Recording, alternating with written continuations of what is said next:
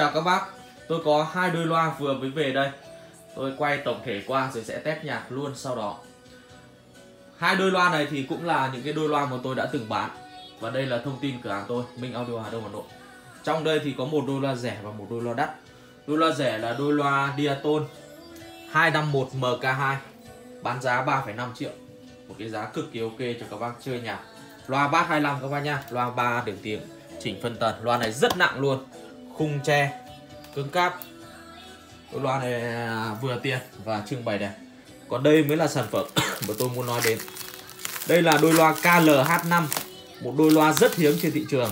Tôi đã từng được bán một lần lần lần năm 2020 vào đợt mùa hè 2019 đây là thông tin của loa. Đây là một trong những dòng, một trong những model danh tiếng của à, audio, các bác nhé nó là một trong những model tên tuổi nghĩa là được xếp hạng trong 100 đôi loa hay. KLH model file. Đó chỉnh phân tần cho loa mid loa tép. Cọc loa loa 8 ôm. Đó.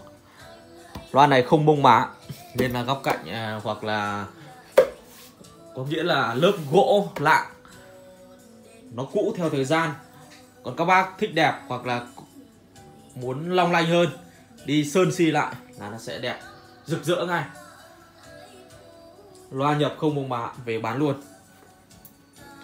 KLH5 các bác nhá. Đây.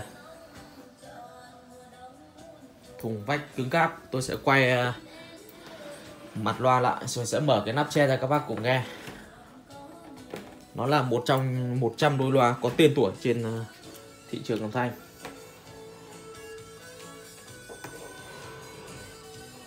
Vừa về nơi, cách đây khoảng 5 phút thôi. Nắp tre này cậy hơi khó nha À đây phía trong mà. Đấy. Loa nó ra làm dạng như kiểu loa AR các bác nha Phải nói là loa cổ của Mỹ. Dạng bánh bò. Đó. Trông bẩn bẩn lắm. Nếu người mà không biết về âm thanh ấy Giả sử như các chị em mà không quan tâm đến âm thanh hoặc nhiều người trẻ thì nghĩ cái đồ này là đồ đồ nát thì nghĩ gì là loa đắt tiền các bác nhỉ?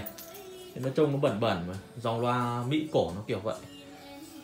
Đấy, loa tép loa mít dạng bánh bò các bác nha loa này đợt trước tôi đã bán một đôi thì sau đó thì có rất nhiều người hỏi.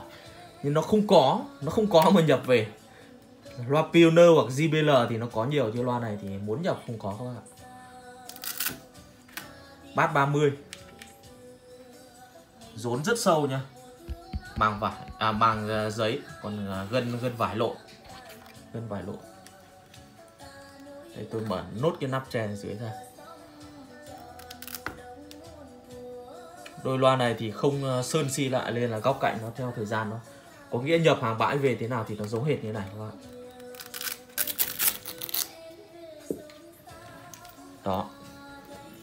KL25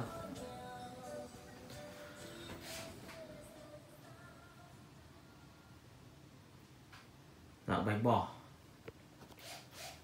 Đôi loa này cửa hàng tôi bán với giá là 15 triệu đồng các bác nhá 15 triệu đồng. Xin chào hẹn gặp lại. Tôi sẽ mở nhạc ngay sau đây.